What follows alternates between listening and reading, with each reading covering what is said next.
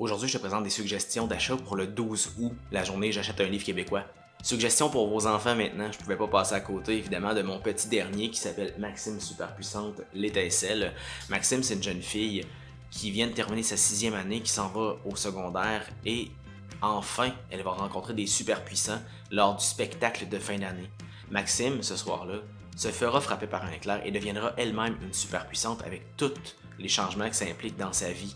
Maxime s'adresse aux lecteurs de 9 ans et plus qui sont des bons lecteurs ou aux lecteurs qui aiment les romans d'aventure, les romans d'action qui bougent beaucoup. Il y aura évidemment des suites, donc c'est le premier volume qui s'intitule L'étincelle aux éditions Andara, paru il y a quelques semaines. Mon fils de 7 ans vous recommande d'acheter des romans de la collection Mini Peur.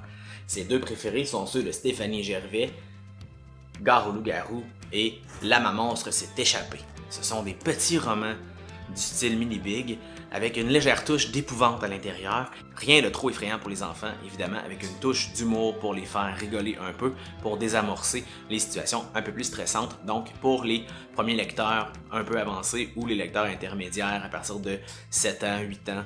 Donc, la collection Mini Peur publiée chez Boomerang. Ma fille de 10 ans vous recommande une série qu'elle dévore et qu'elle adore. Il s'agit de Full Texto. Ici, j'ai le volume 4 entre les mains, écrit par Karine Paquin aux éditions Boomerang. C'est un roman qui a la particularité d'être écrit en texto. Donc, à part la petite mise en scène à chaque début de chapitre, tout le texte est écrit en message texte entre les différents enfants. Donc, ma fille les lit à toute vitesse. C'est incroyable comment ça se lit vite et bien et comment elle aime ça.